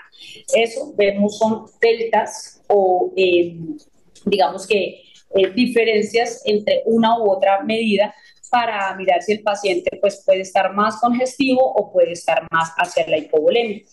Eh, como sabemos, la presión venosa central me va a reflejar la presión de la aurícula derecha y el, la precarga del ventrículo derecho. Entonces, pues sabemos que esto es uno de los, de los determinantes del gasto cardíaco, entonces nos va a servir bastante para el monitoreo hemodinámico de estos pacientes. Digamos que debido a las, limitaciones de la medición y sus, y sus límites como marcador para la precarga, Em, y sabemos que no es un parámetro estático, no, no podemos como solo, solo con esto tener en cuenta o pensar que ya el derecho está afectado. Tenemos que acompañarlo con ecocardiografía, con otros modelos o con otros monitoreos que nos puede ayudar bastante. Em, en cuanto a la saturación venosa central, es muy importante. Podemos tomar dos, digamos que eh, lo más fidedigno es tomarla a nivel mixto, pero eso es con un catéter de arteria pulmonar. Pero si ya tenemos el catéter venoso central, la saturación venosa central nos va a ayudar mucho. Este grupo, que es mexicano, eh, publicó un artículo bastante interesante. Este, este algoritmo me gustó mucho. Em, esto fue publicado en la revista colombiana de anestesiología, que hablan de un algoritmo que se puede esto realizar dependiendo de la saturación venoso central. Lo que yo les quiero decir primero es esto que es importante, perdón, acá, voy a tenemos que la saturación venosa, perdón la letra, pero si estoy, es igual a la saturación arterial de oxígeno. Esto es menos consumo de oxígeno y acá podemos ver que hay hemoglobina 1.34, que es lo que está pegado de, de oxígeno a la hemoglobina y el gasto cardíaco. Entonces, si hay una saturación venosa baja, no solo podemos decir, ay, bueno, sí, el gasto cardíaco. No, hay que mirar depende de la hemoglobina y depende de la saturación arterial de oxígeno. Eso es muy importante porque ya vemos que una saturación menos está bajita, ya inotropía, ya vamos a decir, no, el paciente está peor, no, tenemos que ver otras variables que nos pueden ayudar. Entonces aquí este algoritmo nos lo explica muy bien, entonces menor de 70% tenemos que ver la saturación arterial, listo, oxígeno y PIB, si llega a estar baja la saturación, si está mayor a 92 la saturación, mirar la hemoglobina, si hay que transfundir, transfundimos. Es lo primero que tenemos que hacer. Si no, tenemos que irnos hacia la otra parte o, llenarnos de razones, como por ejemplo el delta de CO2, que es más fidedigno y más em, específico para gasto cardíaco. Si está menor de 6, podemos mirar si es por consumo de oxígeno o por si es entrega de oxígeno. Mirar a ver cuál de los dos. Si está mayor de 6, ahí sí va el gasto cardíaco. Como el gasto cardíaco depende de la precarga, poscarga, contractilidad y la frecuencia cardíaca, cualquiera de estas dos cosas, pues, pues, le miramos al paciente cómo está la frecuencia, cómo está la precarga, cómo está la contractilidad y cómo está la poscarga. Entonces, como vemos, no todo es inotropía, ¿sí? No todo tenemos que, ahí sí, vamos a ponerle de una butamina porque la, la saturación, no, tenemos que mirar otras cosas, no, que el paciente tiene una FA, que el paciente está taquicárdico, listo, beta bloquear. No, que el paciente necesita líquidos, le hacemos un eco, está hipovolémico, líquidos, listo. Y así contractilidad y vamos mirando el algoritmo bien chévere. Me gustó este algoritmo. Em, ahí está la, la, la bibliografía por si necesitan. ¿Listo? Entonces, listo, el delta de CO2. También es muy bonito me va a hablar a mí la macrocirculación y la microcirculación. Es un balance entre la producción de CO2 de los tejidos y la eliminación de los pulmones. Entonces, ¿qué me interesa aquí que, que sepan? Digamos que la relación del delta de CO2 y el gasto cardíaco expresa el hecho de lo siguiente. Si el gasto cardíaco es bajo, voy a escribirlo acá, si el gasto cardíaco es bajo, ¿qué va a pasar? Lo que va a pasar es que el aclaramiento o la eliminación del CO2, el clearance, me va, a disminuir y se va a aumentar esto en la parte venosa. Entonces, en el lecho venoso se va a aumentar el CO2. Entonces, al aumentarse el CO2 en el lecho venoso, sabemos que el delta de CO2 es el, la, la presión venosa de CO2 menos la presión arterial de CO2. Entonces, si se aumenta en el lecho venoso, la brecha se me va a aumentar. Entonces, disminución de gasto cardíaco, me va a aumentar el, la presión de CO2 en la parte venosa y me va a aumentar el delta, o sea, mayor de 6. O sea, lo que quiero decir acá realmente es que el gasto cardíaco es el principal determinante del delta de CO2. ¿Listo? Eso nos va a ayudar a nosotros, o por eso decía que es más fidedigno confiar en el delta de CO2 que en la saturación venosa. Ahora, hay otra parte importante. Como les digo, macrocirculación y microcirculación.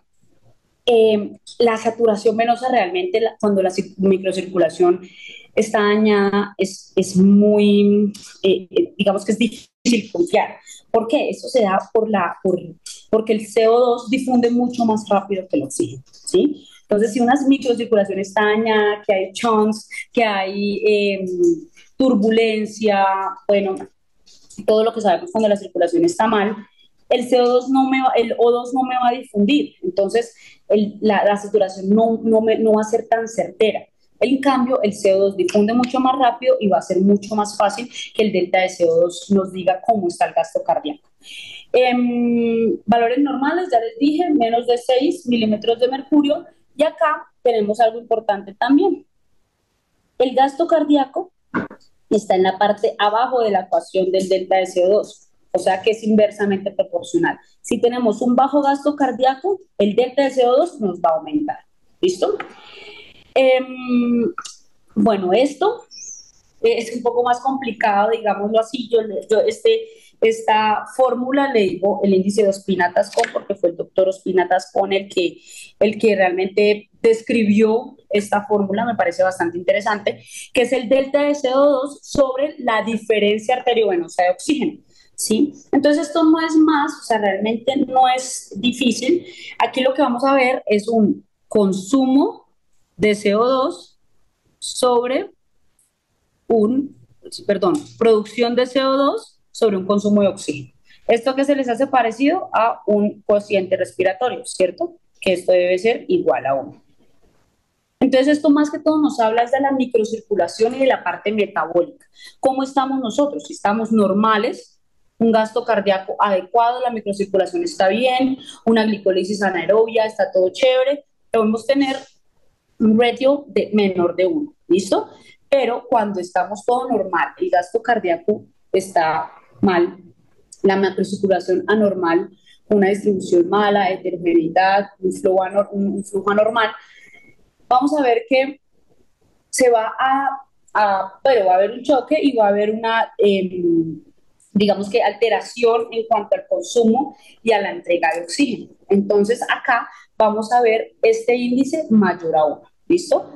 Ya digamos que para explicarlo un poco más, más a fondo me va a tomar más tiempo y no lo tenemos, pero quiero que sepan que existe y que está eh, muy validado y es súper chévere y lo que me va a, a, hablar más, más, que todo es de la microcirculación, que es lo que nos interesa en estos pacientes y lo que menos, digamos que nosotros tenemos herramientas para monitorizar. Y en cuanto a la monitoría avanzada, tenemos dos principales, que es el catéter de la arteria pulmonar y la termodilución transpulmonar. ¿Listo? Entonces vamos a hablar de cada uno. Digamos que este artículo eh, fue de 1996 aproximadamente digamos que desde acá se habló de la arteria pulmonar, pero todo el mundo quedó súper aburrido. ¿Por qué? Em, fueron más o menos 5.700 pacientes, entonces tenemos que los pacientes que tenían, que les pusieron catéter de arteria pulmonar, la mortalidad fue del 62% y los que no tenían catéter de arteria pulmonar de 69%, la supervivencia, perdonen, del 69%. O sea, hubo más mortalidad en los pacientes que tenían catéter de arteria pulmonar. Y no solo eso, los costos, listo, obviamente sabemos que los costos van a aumentar porque pues, si no le pone nada, pues no va a gastar nada. Pero pues eh, los, los recursos fueron mayores, pero entonces, y la estadía en UCI fue mayor, pero este, este artículo realmente fue algo tramposo, digámoslo así. Eh, esta, esta eh, publicación está basada en datos recogidos de un estudio, eh, estudio support, em, que era para, para evaluar o digamos, tomar una decisión en el proceso final de una enfermedad. Entonces, acá habían pacientes que tenían una mortalidad a seis meses más o menos del 40-50%, habían pacientes con cáncer, cáncer metastásico, pacientes con falla cardíaca avanzada terminal, bueno, pacientes que realmente ya se iban a morir. Entonces, pues obviamente la mortalidad iba a estar aumentada, ¿sí? Importante, aquí sacaron un subgrupo que era en pacientes con falla cardíaca, con posterior a infarto, que no estaba pues terminal, y hubo mejoría y, pues mejoría de la, de la, de la supervivencia. Entonces, pues aquí todo el mundo empezó a hablar, a hacer mil estudios que ahorita los voy a mostrar así como de rapidez, como para, para saber en qué vamos con el catéter de arteria pulmonar. Pero entonces, ¿qué podemos medir acá? Directamente la presión de la aurícula derecha, la presión del ventrículo derecho, la presión pulmonar y la presión en cuña. Indirectamente, gasto cardíaco, resistencias vasculares, tanto pulmonar y sistémica, presión de fin de diástole, Em, y trabajos ventriculares izquierdo y derecho. Esto hasta hace un rato. Eh, quería mostrarles esto, esto es, muy importante, digamos que eh, aquí lo que hicieron fue, pues ese estudio lo que describe es el resultado clínico del uso de los que usaron eh, en un estudio en el, en el, en el de choque cardiogénico, que eran como 5.500 pacientes, si no estoy mal. En este, en este estudio eh, cogieron a todos los pacientes que les pusieron catéter de arteria pulmonar y lo que hicieron fue decir, bueno, les hicieron la monitoría completa o fue incompleta o no les hicieron monitoría y qué, y qué, impacto en la mortalidad tuvieron. Entonces, aquí, ¿cuáles eran lo, que, lo que monitorizaban? La presión sistólica la arteria pulmonar, la diastólica la arteria pulmonar, la presión en cuña, la saturación arterial de la arteria pulmonar y la presión de la aurícula derecha. Esas eran las, las cinco cosas que medían. Cuando no lo medían, pues listo, no lo midieron. Cuando era incompleto era alguno de estos cuatro y cuando era completo medían los cinco. Listo, entonces, ¿qué pasó acá? 42% se midió toda la parte hemodinámica, 18% no se midió y el 40% fue incompleto. Entonces, miremos acá. Cogieron solo los pacientes que estuvieran en el SCAI D o SCAI E. Entonces, lo que se evidenció fue que en el SCAI E, los pacientes que donde se le hacía un monitoreo completo, miren, menor mortalidad. Igual acá, menor mortalidad. ¿Eso qué quiere decir? No quiere decir, ay, sí, como se le midió ya, entonces no. La cosa no es, o sea, el mensaje no es que el catéter como tal en sí me va a aumentar o disminuir mortalidad. No, realmente es la manera de cómo nosotros interpretamos lo que nos da el catéter y cómo tomamos decisiones a base de eso. Hay un estudio también bastante antiguo donde em, preguntan, o sea, sacan como diferentes eh, hemodinamias del catéter, le preguntan a enfermeras, le preguntan a médicos, le dicen, bueno, ¿usted qué piensa de esto? Y todos tenían diferentes conceptos y todos hacían diferentes cosas eh, o digamos que eh, diferentes tratamientos dependiendo de lo que pensaban. Entonces ese no, es el objetivo, el objetivo es estandarizar o crear un algoritmo con lo que tenemos o con lo que nos puede dar el catéter de arteria pulmonar para poder mejorar así como tal el diagnóstico, el, primero el diagnóstico correcto y un tratamiento correcto, porque si todo el mundo va a, a interpretarlo de manera diferente, pues es muy difícil. Ese algoritmo me gustó mucho porque también tiene que ver con la saturación venosa, sí, lo que había hablado, hemoglobina, oxigenación, la parte metabólica y el gasto cardíaco. Aquí me dice, ¿qué debo mirar? O sea, si yo sospecho, bueno, si tengo las resistencias pulmonares aumentadas que puede estar afectado o si tengo la PVC que puede estar afectado. Entonces, bueno, tenemos el gasto cardíaco, que lo normal es de 4 a 8 litros por minuto. El gasto cardíaco, vamos a ver el volumen sistólico y la frecuencia cardíaca, que ya lo sabemos. Volumen sistólico depende de precarga, poscarga y contractilidad. ¿Qué parámetros del, del, del catéter de arteria pulmonar me va a hablar de cada criterio? Entonces, de la precarga, PVC y en cuña, y la, la presión en cuña. ¿Listo? La, la, poscarga, ya sabemos, las resistencias sistémicas, resistencias pulmonares, estas son las indexadas. Y en contractilidad, el trabajo ventricular izquierdo y el trabajo ventricular derecho, que pues sabemos que la parte indexada, lo que las resistencias indexadas y trabajos ventriculares indexados, es mucho mejor. Pero si, si no es por este lado, mirar hemoglobina, oxigenación y si el paciente tiene una, una demanda metabólica aumentada. También podemos hablar del, del, del diagrama de Forrester, que pues nos va a hablar de la presión en cuña, la hipoperfusión, ahí lo que podemos hablar es de diferenciar el choque. Pero ojo acá, tenemos unos criterios hemodinámicos de choque cardiogénico que yo ya los nombré el doctor Juan. Entre esos está, sí, el índice cardíaco menor a 1.8, la presión en cuña de mayor a 15, pero ojo, tenemos acá un poder cardíaco y tenemos una PAPI, que eso digamos que es relativamente nuevo, o no relativamente nuevo, sino le han puesto más atención a esto. ¿Por qué? Entonces, tenemos dos cosas que me van a ver exactamente el izquierdo y el derecho. ¿Listo? Entonces, ¿cómo hacemos? La PAPI, ¿qué es la PAPI? La PAPI es el índice de pulsatilidad de la arteria pulmonar. Entonces, es una diferencia, una presión de pulso de la pulmonar, o sea, una presión arterial eh, sistólica pulmonar menos presión diastólica pulmonar sobre la, eh, la presión de la, de la aurícula derecha. Listo, esto nosotros lo podemos sacar fácil por el Swan Dance. Eh, tenemos unos, unos, algo importante que es cuando hablamos de perfusión o de, presión de pulso de la pulmonar, tenemos que depende del, del volumen sistólico del ventrículo derecho y depende de la compliance de la pulmonar, de la arteria pulmonar, ¿sí? Entonces, pues acá realmente la PAPI nos va a, va a ser un subrogado de la, del volumen sistólico pulmonar y de cómo está nosotros, cómo tenemos nosotros la parte eh, de la compliance o la complacencia pulmonar. Listo, entonces esta parte nos ve el ventrículo derecho. El ventrículo izquierdo, el índice de poder cardíaco o el poder cardíaco, ya desde hace rato, desde el 2004, ya lo habían mencionado, ya lo habían hablado. Esto, entonces podemos hablar que esto es de, los que, de lo que más nos impacta, mortalidad en los pacientes y lo que más podemos sacar jugo es del catéter de arteria pulmonar.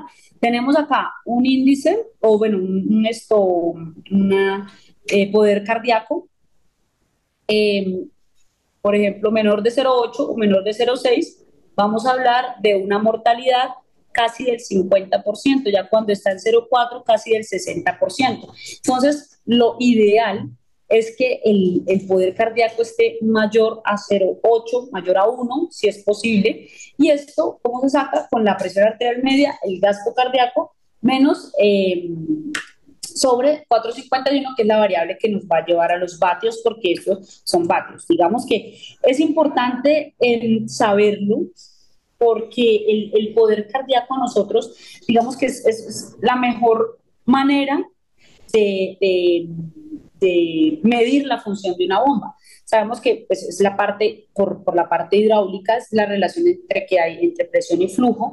Sabemos que el corazón es una bomba, obviamente, consume energía, produce trabajo y, y esto se puede manejar como si fuera pues el, el, poder, como si fuera una bomba. Entonces, digamos que eh, la relación que existe entre la presión arterial media y el gasto cardíaco, lo que nos va a decir es que pues obtenemos, con esto obtenemos la medición, o sea, la capacidad que tiene el corazón para impartir la energía al sistema arterial y con esto pues mantener el flujo con dos componentes que es el pulsátil y el constante. ¿Listo? Entonces el, el poder cardíaco para nosotros eh, como intensivistas tenemos que tenerlo muy en cuenta, igual que el índice de pulsatilidad. Eh, complicaciones o no complicaciones, sino que tenemos que tener en cuenta. La presión en cuña no va a ser fidedigna, sí, tenemos estenosis mitral, insuficiencia mitral, eh, insuficiencia, eh, eh, estenosis aórtica, perdón, un mixoma en la aurícula izquierda. Tenemos disminución en la complancia ventricular, si tenemos una obstrucción venosa pulmonar, o sea, un, tromboembolismo, o, si tenemos un PIB muy elevado, esto no es tan fidedigno, ¿listo? aquí hay muchos estudios y son los últimos que habla de la mortalidad o el impacto de la mortalidad del catéter de arteria pulmonar. Realmente no me, no me voy a detener mucho en esto. Eh, desde 2021, 2020, 2019, mejoría de la mortalidad por la, la, la, interpretación más que todo. La única, el único que no, no, nos, no nos apoya es Sionis en el 2019, que dice que la mortalidad en los pacientes que se les puso arteria pulmonar fue 42 versus 24. ¿Listo? Pero pues tenemos que leerlo más a fondo como, como para ver qué fue lo que pasó. ¿Listo? En cuanto a la termodilución transpulmonar, no, no me voy a extender mucho en esto. Digamos que me puede medir múltiples cosas diferentes el catéter de arteria pulmonar. Entonces, ¿qué me, va, eh, ¿qué me va a medir? El índice de permeabilidad pulmonar vascular, el índice, el, el agua pulmonar extra, extravascular, eh, el volumen de fin de diástole global, el, el gasto cardíaco, eh, la función cardíaca, el índice de la función cardíaca, la fracción de eyección global y el volumen sistólico. ¿Listo? Esto, digamos que la técnica con que hace esto es parecida a la que hacen el, con el Swan Gans, que es por termodilución. La diferencia, pues digamos que estas son las variables, cuáles son las ventajas y cuáles son las desventajas. Pero entonces, ¿qué quiero hablar? ¿Cuál es, ¿Cuál es mejor, cuál es peor o qué se ha visto? Bueno, realmente eh, el catéter arteria pulmonar no requiere recalibración, la, la, la, termodilución sí requiere em, calibración. Esto como realmente cómo se hace. Em, se inyecta, se debe inyectar, se tiene que primero em, canalizar una vena y una arteria, por ahí pues te pasas una, más o menos 15 cc de solución salina a menos 8 grados por la vena y lo que hace es dibujar hasta que pasa por pues, esa solución salina hasta la arteria femoral a ver cuánto se ha calentado y eso pues hace una curvita y debajo de esa curva es el gasto cardíaco, ¿listo? Más o menos eso y también pues con la, con la, con la, el contorno de la, de la, de la línea arterial. Pero entonces, ¿qué es el mensaje que quiero que lleven realmente? Es uno, saber cuándo poner la monitoría invasiva al paciente y esto es importante, elegir el dispositivo que más conocemos. ¿Por qué? Porque sí, uno tiene una cosa, el otro no, que desventajas, ventajas, listo. Pero la cosa es que las dos cosas nos dan, los dos, los dos métodos de monitoría nos dan diferentes cosas que podemos aprovecharlas muy bien. Eh, y digamos que si podríamos tener los dos sería magnífico porque también podríamos nosotros correlacionar entre los dos que el gasto cardíaco, uno no me da volumen eh, de la pulmonar, no me da volumen de agua pulmonar, perdón, esto otro no me da un gasto cardíaco tanto del izquierdo, un trabajo cardíaco como tanto del izquierdo como del derecho, entonces realmente se complementan a mi pensar y hay que elegir el dispositivo que más conocemos. Aquí, digamos que lo que sí importa es cuando el paciente tiene una falla ventricular derecha severa o una hipertensión pulmonar severa, sí o sí tenemos que poner un catéter de arteria pulmonar. Es lo único. No hay contraindicación para otra cosa, no hay pues nada más. Es solamente lo que nosotros queramos y más nos familiaricemos con eso. Em, esto es como un resumen de todo lo que acabo de decir como las ventajas, desventajas de cada uno de, los, de las monitorías que, que, les comenté. Y realmente lo que quiero que lleven es que el monitoreo hemodinámico nos permite un rápido reconocimiento del choque, evaluar qué tipo de choque es y la fenotipificación del choque cardiogénico. Nos tenemos que llenar de razones y argumentos para evaluar el requerimiento de un soporte mecánico circulatorio y qué más y qué mejor que hacerlo con, con, pues, con muchas, digamos que con ecocardiografía, tener un catéter lateral pulmonar, esto para llenar de razones y decir, hey, necesita ECMO, necesita, si tuviéramos acá en Colombia, pela, necesita una eh, eh, asistencia ventricular izquierda o derecha, bueno, eh, importante establecer algoritmos en cada institución de manejo de los métodos invasivos, más que todo con el catéter arterial pulmonar, saber qué vamos a hacer con la hemodinamia, eso es muy importante. Y también que recordar que no es el dispositivo lo que aumenta mortalidad, sino es la interpretación de cada uno de nosotros. Y listo. No sé si tengan alguna pregunta.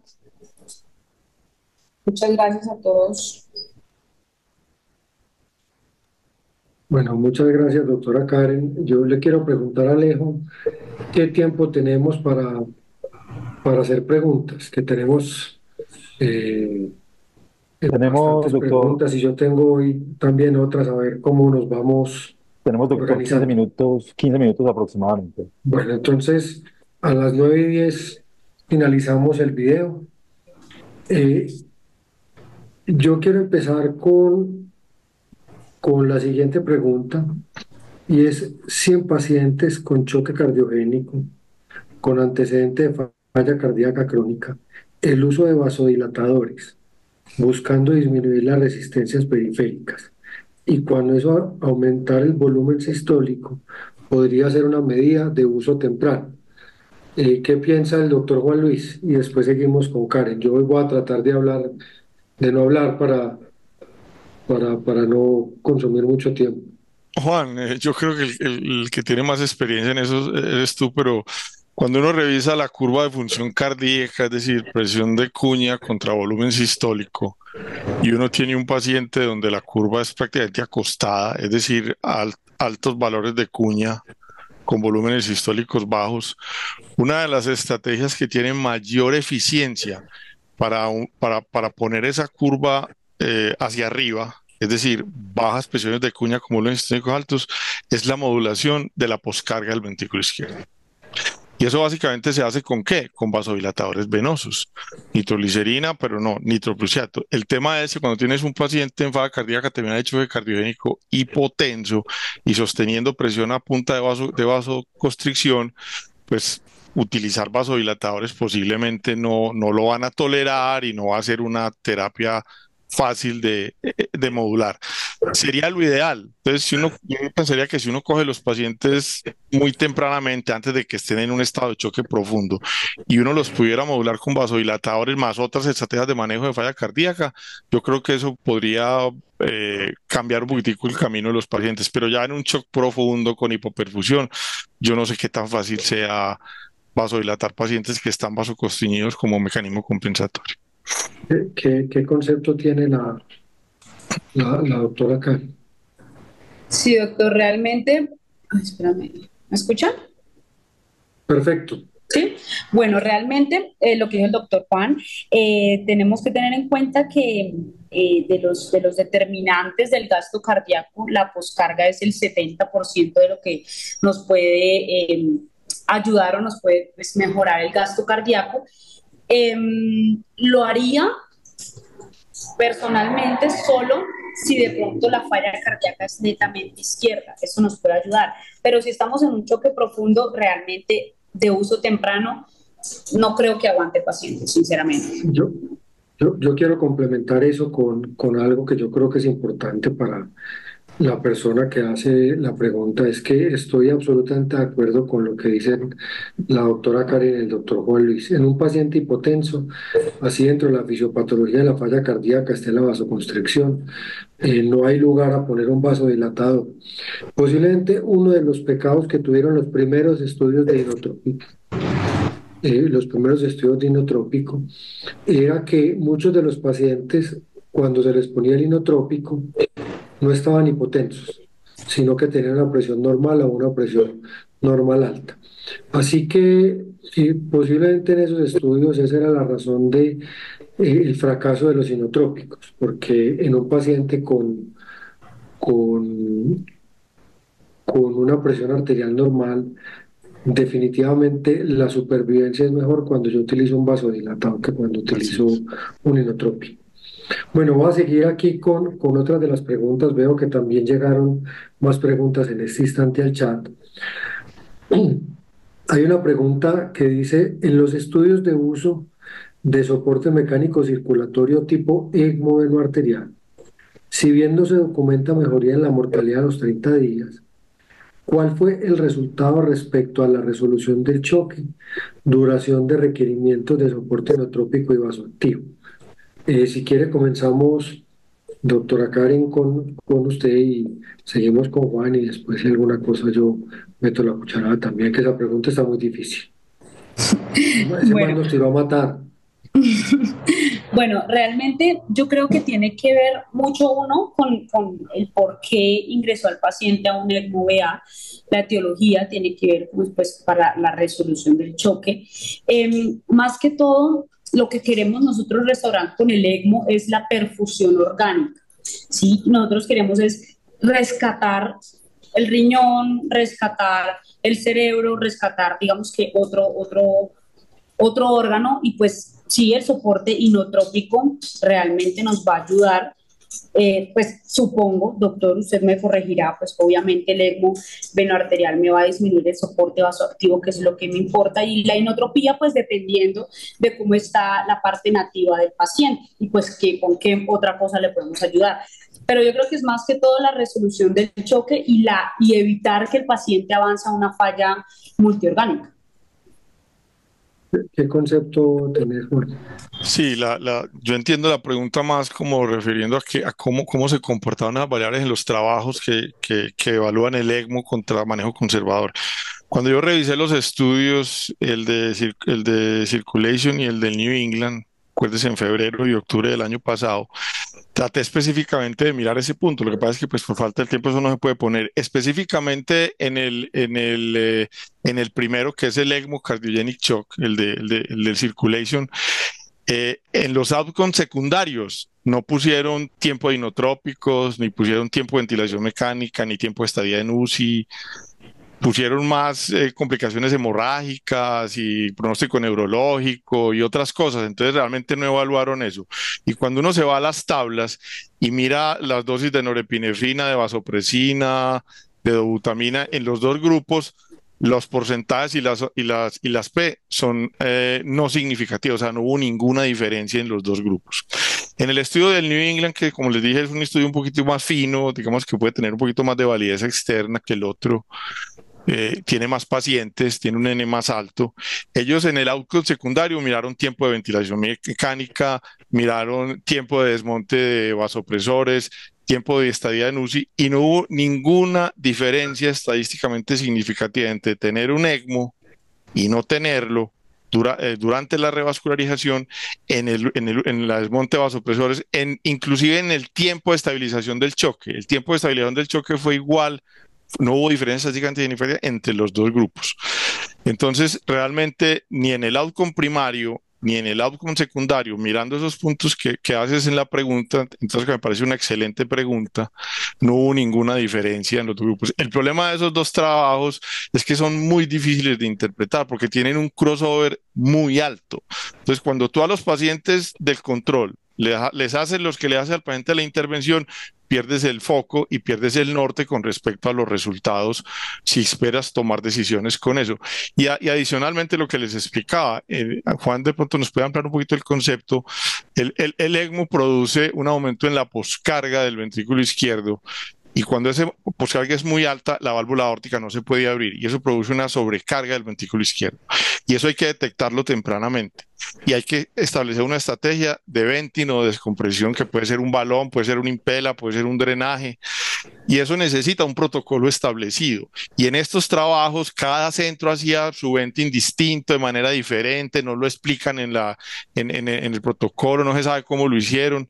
Entonces el crossover y ese tipo de complicaciones que genera mortalidad posiblemente explique por qué no hay diferencia en los dos. entonces realmente yo pensaría que uno no puede decir que, que el soporte circulatorio mecánico no funciona funciona solamente por estos dos trabajos, no, hay que esperarle el resto de la evidencia. Yo, yo quiero complementar esta pregunta con un par de cosas. Eh, no me voy a extender porque tenemos otra sesión que la haremos el jueves, eh, donde vamos a tocar algunos temas de soporte circulatorio con la doctora Lazo, si la memoria no me traiciona.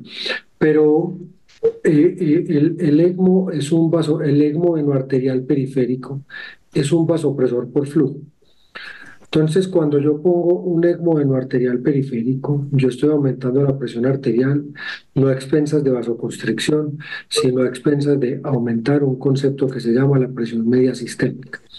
Entonces, es difícil uno evaluar ¿Cuánto tiempo de soporte vasopresor va a tener cuando yo estoy poniendo una estrategia que es mucho más eficiente que la vasoconstricción?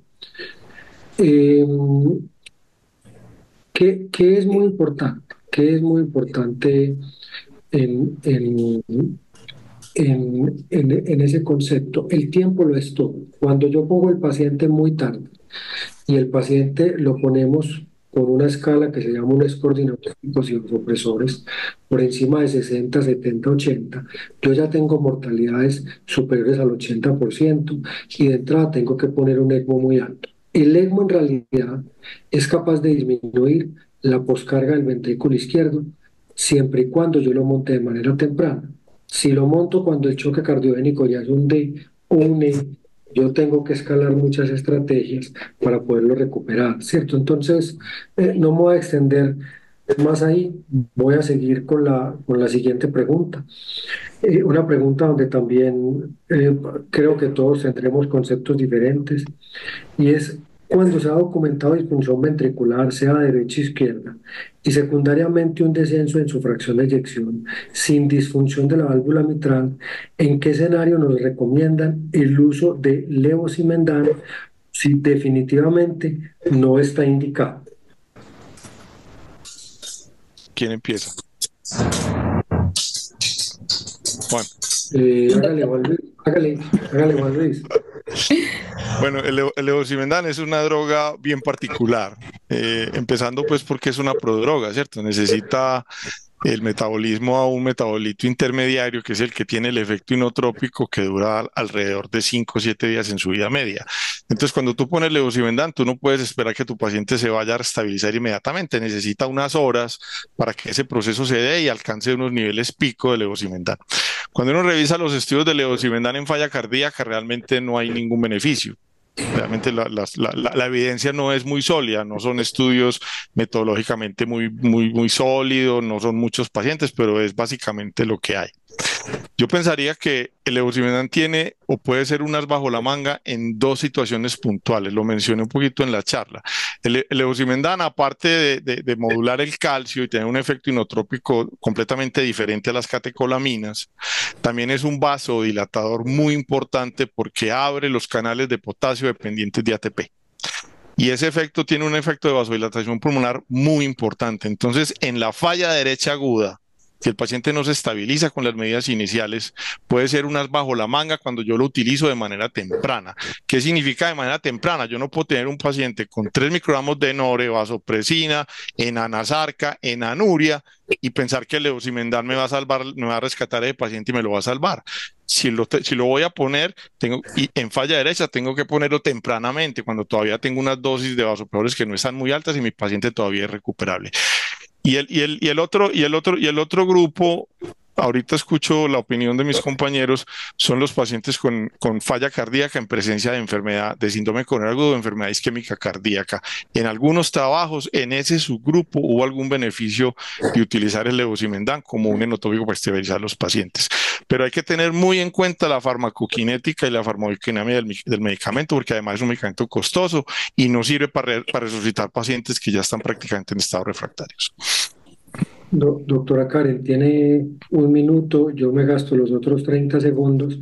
Antes de darle la palabra a la doctora Karen, hay un sinfín de preguntas.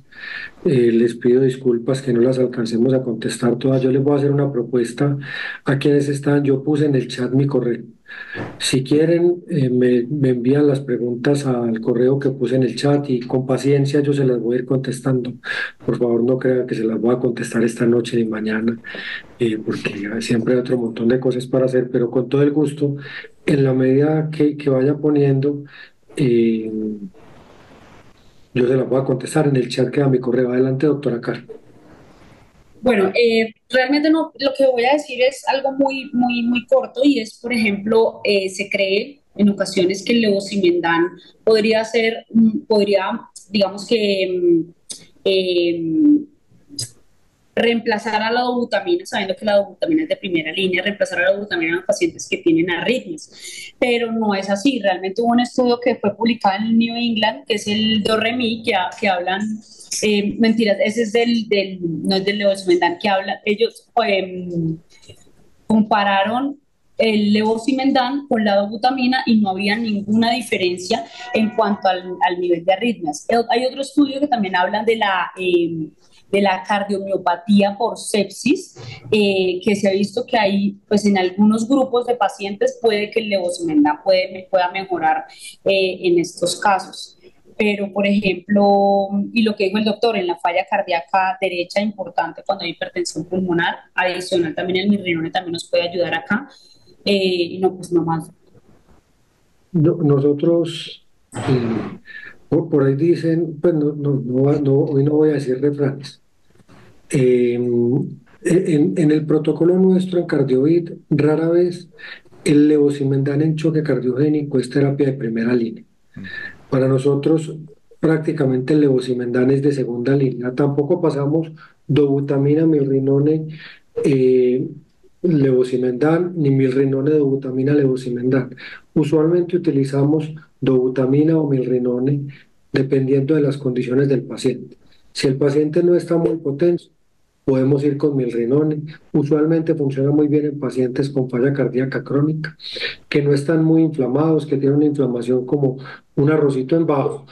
Y en los otros empezamos con levosimendan, siempre y cuando no tengan más de 120 o 130, perdón, con dobutamina, siempre y cuando no tengan más de 120 o 130 de frecuencia cardíaca. Si alguno de esos dos fracasa, vamos a levosimendan como estrategia de rescate. Pero hay una cosa muy importante, no esperamos el, que el levosimendan mejore el estado hemodinámico del paciente para escalar el tratamiento. Uno de los problemas que hay en el choque cardiogénico es que después de pasadas 6, 8 o 12 horas del choque cardiogénico, ya la disfunción orgánica es tal que ya lo que hagamos es fútil. Cuando nosotros comenzamos a hacer ECMO hace muchos años, eh, esperábamos para montar los pacientes en ECMO no arterial y claro, lo rescatábamos y al tercero, cuarto o quinto día el 80% se nos moría por isquemia intestinal, usualmente no oclusiva. Entonces, entonces digamos que eh, lo importante si uno va a empezar con levosimendan es que no puede retrasar el tiempo para tomar las decisiones. Mm. ¿Cierto? Creo que ese es el mensaje más importante. pero no para nosotros no es terapia de primera línea. Sé, por ejemplo, que el grupo de San Vicente, perdón, ya es de la IPS de la Universidad de Antioquia, con Horacio Ateortúa lo utiliza de primera línea. Juan también lo utiliza en ocasiones de primera línea, ¿cierto? Nosotros en general no lo hacemos, pero, pero sí es muy importante que ponga lo que ponga, no puede retrasar el tiempo. Bueno, yo creo que Juan, yo te quiero, no, yo te quiero complementar algo que tiene que ver inclusive esto con una pregunta que había ahí como en un estadio terminal. Eh, y lo dijiste clarísimo. Eh, la clasificación de SKY no solamente es importante porque nos permite una, una clasificación clínica, sino que nos permite tomar decisiones de escalar la terapia.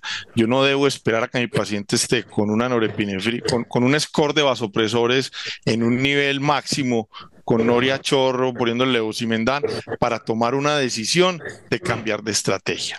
Y hoy en día, básicamente lo que, lo, que tenemos disponible, independiente de la evidencia, es soporte circulatorio mecánico. Y tenemos centros en la ciudad que tienen experiencia y que lo hacen muy bien. Entonces no es como dice Juan, esperar a que el paciente se deteriore, el lactato esté en 20, los vasopresores estén en niveles máximos para tomar una decisión de escalar mi paciente a un siguiente nivel, siempre y cuando yo tenga esas opciones disponibles en la ciudad. Y eso es muy importante. Bueno, yo les doy las gracias por cuestiones de tiempo, eh, de cámaras y el resto de las cosas. Eh, vamos a dar por cerrado ya el webinar. Nos vemos mañana, siete y media de la noche. Afortunadamente mañana yo estaré al otro lado, donde solamente escucho y puedo hacer preguntas por el chat para volver a caer en desgracia el día jueves que me toca dar mi presentación. A todos les agradezco muchas gracias, a AMSI por el espacio, a los expositores por su compromiso, que usualmente lo hacemos de manera altruista, y a todos los que eh, nos acompañaron y, nos califican también para saber eh, cómo nos fue y cómo podemos mejorar. Muchas gracias y que tengan buena noche y descansen. Feliz noche, muchas gracias. Gracias, Juan. Alejo, gracias. Hasta luego, buenas noches, que estén bien. Luego. Los esperamos mañana desde el mismo enlace. Buenas noches.